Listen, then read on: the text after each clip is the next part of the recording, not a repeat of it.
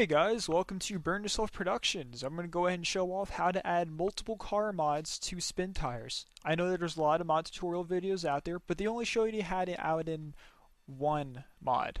A lot of people obviously want to do more than one modded vehicle, however there are a few things you must understand first. One, in the full game of Spintires, unlike the demo, there's only seven vehicles stock in the game. And when you put in a modded vehicle, they replace one of those vehicles. Now, if you were to have two modded vehicles that replace the same vehicle, well, you're going to have an issue. Your game's going to crash because it's trying to load in two vehicles for one vehicle, and it doesn't work like that. The game right now only has seven, and it screws up the coding and it's whatever. Thankfully, in March or April, the developers have confirmed they're going to be adding in mod support, which is cool because right now any mods disable the achievements in Steam and they disable the multiplayer, which kind of sucks for those of you who like playing with friends or just you're an achievement hunter, trophy hunter, whatever you want to call it. So we're going to start off this video like any of it other video. We're going to start off with how to do your first mod for media for uh, for Spintires. And the reason why we're going to do this is because perhaps you're new to the game and you have a blank media folder like me, like you're looking at right here, or you've had the game for a while and you're finally interested in trying out some new mods that you saw on YouTube or the oovee.net forums, and you're just really curious about it, but you don't know how to do it. So that's what I'm here for. Okay, so there's two ways to get to your media folder. The first one is you open up your computer folder, you go to Program Files x86. This is if you're running a 64-bit OS. You have an x86 folder. If you don't, you're running a 32-bit OS it, you're just going to have a program files, which is where everything will be. So we're going to click here, go to Steam, Steam Apps, Common, Spintires, and here's your media folder. If you haven't modded yet or you just downloaded the game, you should have a blank folder inside media except for videos. Inside videos is the intro video. Don't delete it, the game needs that. The other way to do this is you go to Steam, right click Spintires in your library, you can go down to Properties, Local Files, Browse Local Files. That's another way you can do it, but that's not what we're doing right now. We're going to exit out of that. We're going to exit out of that, and we're going to exit out of that. We're going to open that back up. Oh, I guess I did need that. I thought I'd opened up another one. Let's go and open that back up.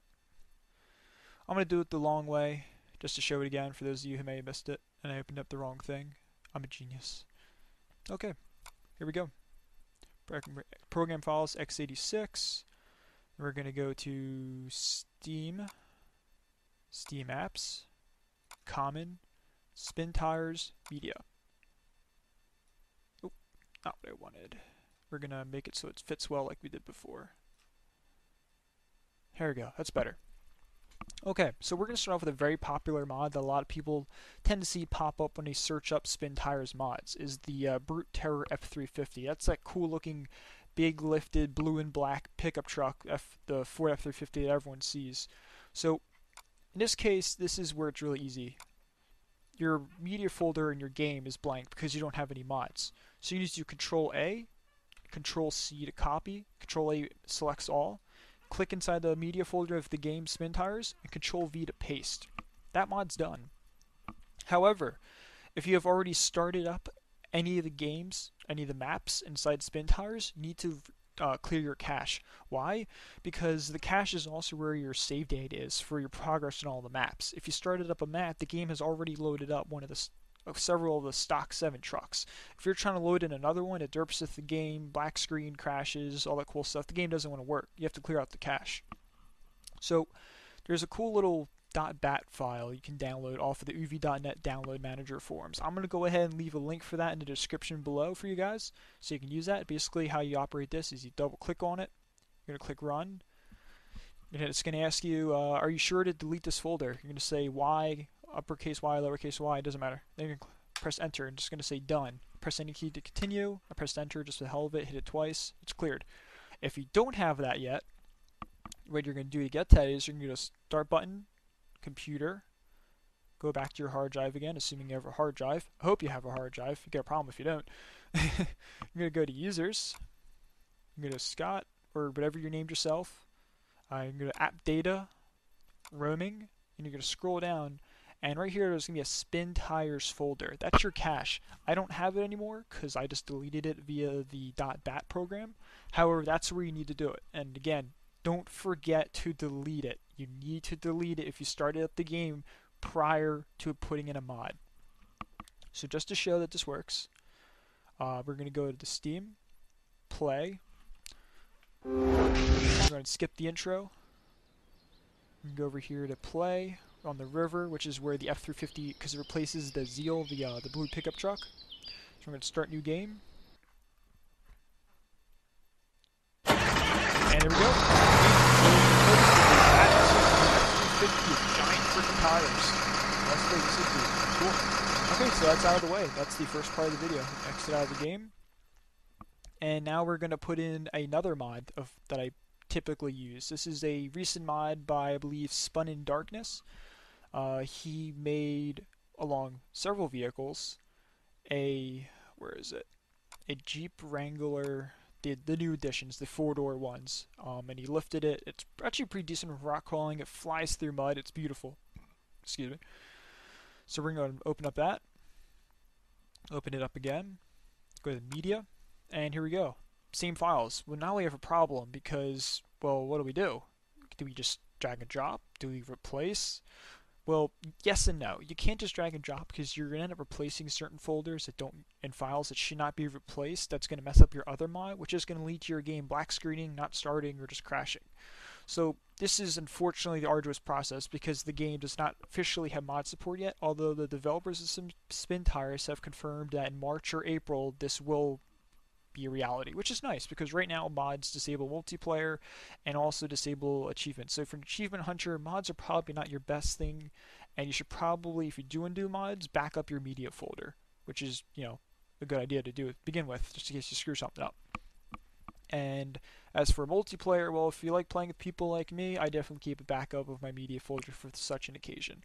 And as such, this is actually my Spintires mods folder right here.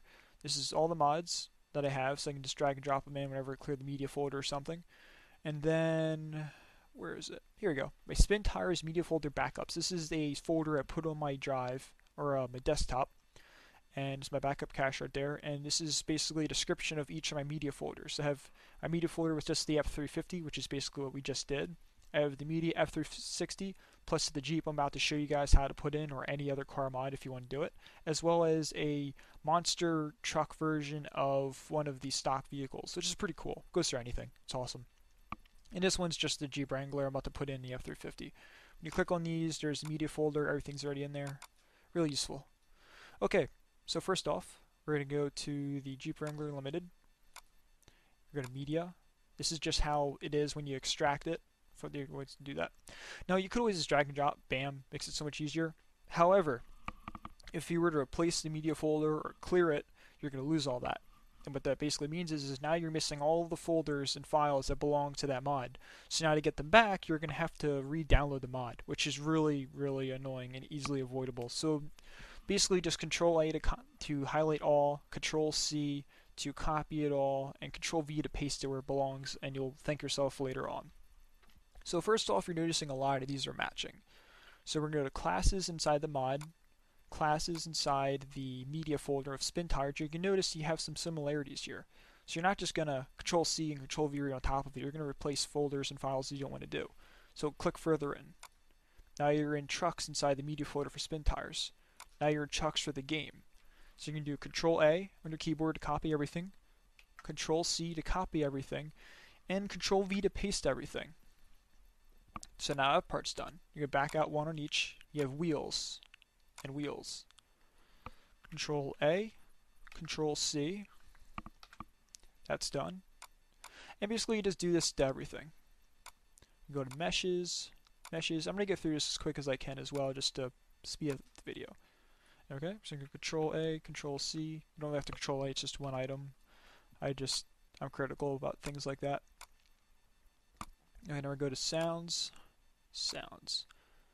Now, this is another thing. You have the exact same folder, so you can click inside them and see what there is. Okay, in this case, you have Power Stroke and you have a V8. So in this case, you're going to do this. Just, just like that. That's good. Back out. You can go to strings. Okay, well there's no strings folder. So just like when you did the initial mod where you just controlled all the folders and put them over, same thing. Control C for strings, Control V, there you go.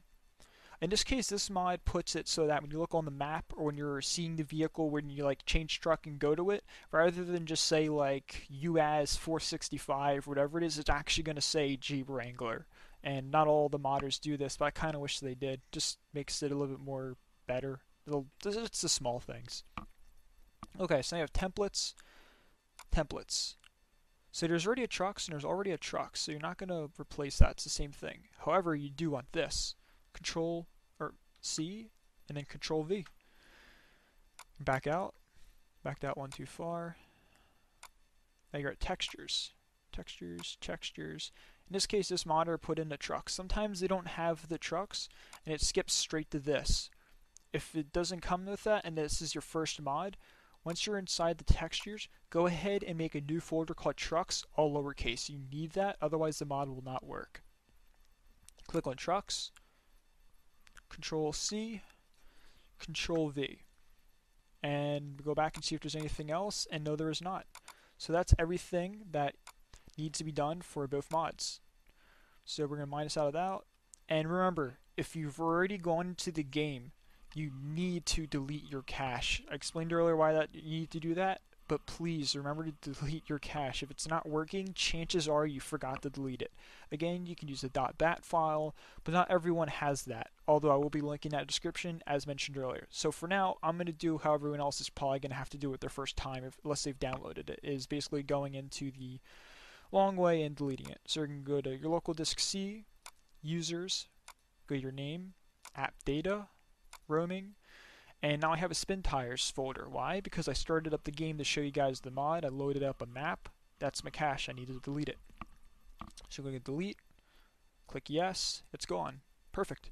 So now what we can do is, is we can now load up the game and our second mod should be there.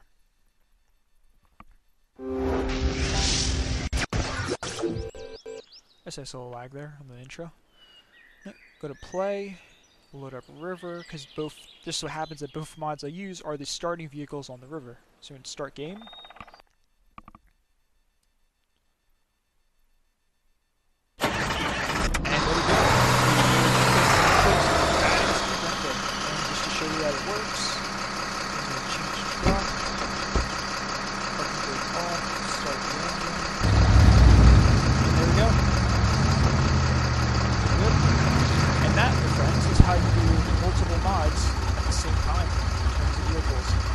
Also, if you guys are looking at the mods such as sound packs, uh, uh, in your vehicle, there are a couple mods and forums that have that. Same, same uh, method. In terms of the map mods, you have to run the legacy version of the game. But what sucks about that is, is you can't run the car mods every time. They, they don't really work with the legacy version that much. So basically just stick with the main version of the game, don't go to Legacy unless you really want maps to car mods. So that's basically it. That's how you put in multiple mods.